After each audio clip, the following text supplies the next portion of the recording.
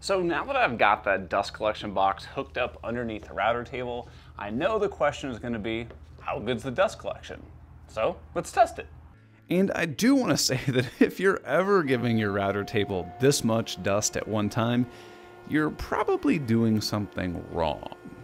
But I wanted to simulate a really, really intensive task to see if the system actually worked.